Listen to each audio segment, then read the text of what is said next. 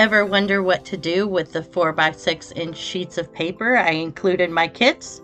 This is Rachel from Sweet Bee Paper Co. and I'd love to show you three separate projects to make with these sheets of paper.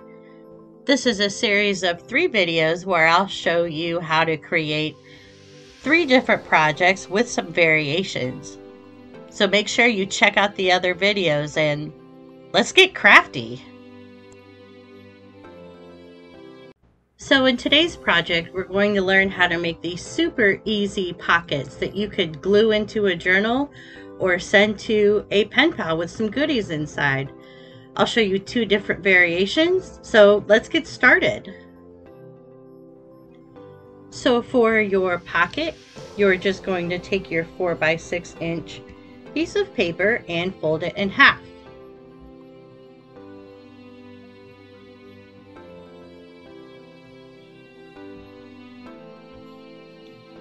Use something along the bottom so that you'll get a nice crisp fold.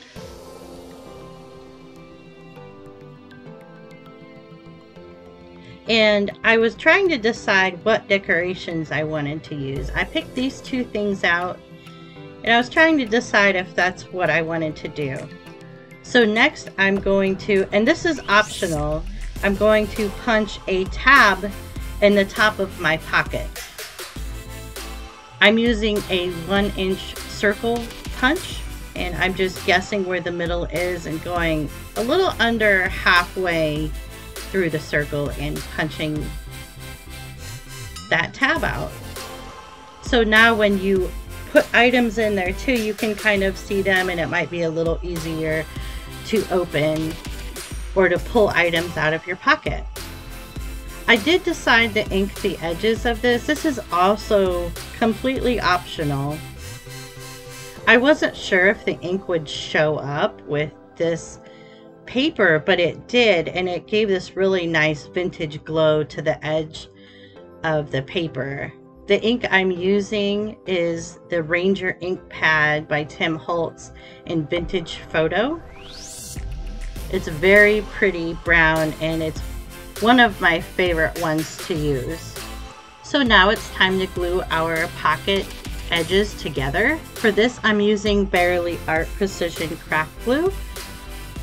And I found this on Amazon. There's two reasons I like to use this glue. One is the tip on it. I can get a really nice line of glue exactly where I want it to go and not a ton comes out at once. And two, this glue dries completely down.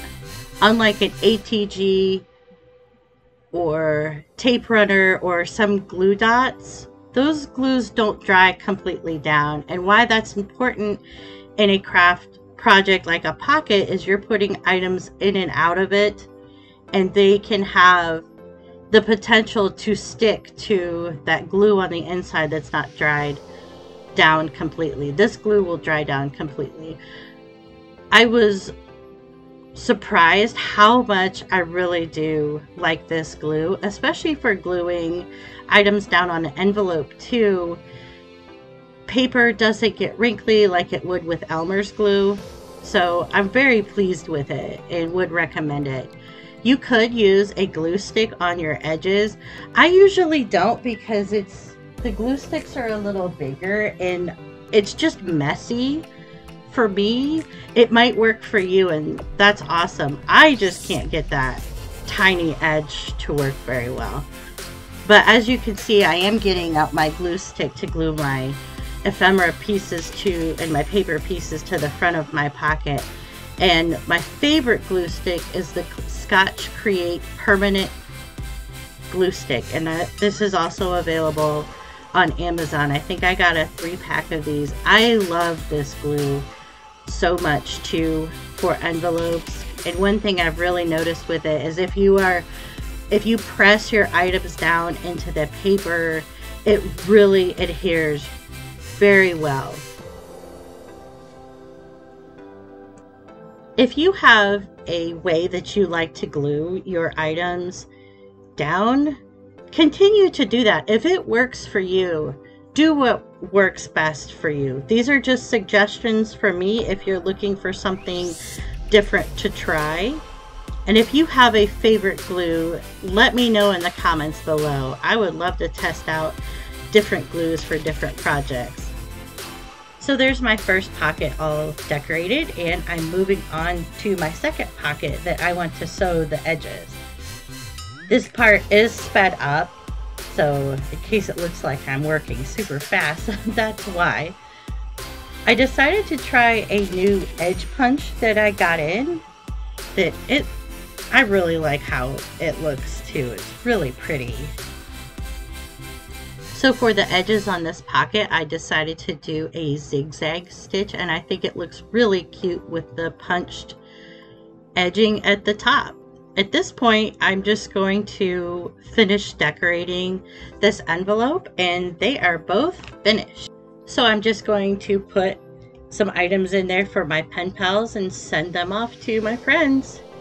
I hope you liked this video. Make sure you check out my other two videos on 4x6 inch paper projects. If you make them, let me know. Hope you have a great day. Bye.